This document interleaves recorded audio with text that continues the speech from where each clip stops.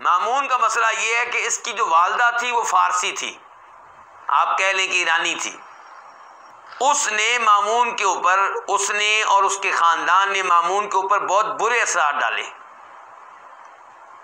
और यहीं से हमें फैसला कर लेना चाहिए कि हमने अपने बच्चों की शादियाँ कहाँ पे करनी है। आप जो बहू लेकर आएँगे, वो सिर्फ़ आपकी बहू नहीं होगी, वो सिर्फ़ आपके बेटे की वाइफ नहीं होगी बल्कि आपके पोतों की माँ भी होगी। और माँ की जो इज़्ज़त और मोहब्बत बच्चों के दिलों में होती है, वो आप सबसे मख्फी नहीं है।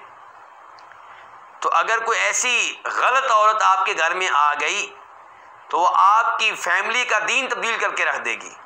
उनकी आदत तब्दील करके रख देगी। इसलिए लड़की का इंतखब ध्यान से करना चाहिए। सिर्फ़ ये नहीं देखना चाहिए कि वो परी हो। हुसन जमाल में सबसे आगे हो, ये भी देखें कि दीन उसके पास है या नहीं। कुरान करीम की तफसीर और तर्जमा जानती है या नहीं? तोहीद और शिरक में फ़र्क जानती है या नहीं? पर्दा करती है या नहीं? उस पर गैरत है या नहीं? आवारा लड़की तो नहीं है कहीं?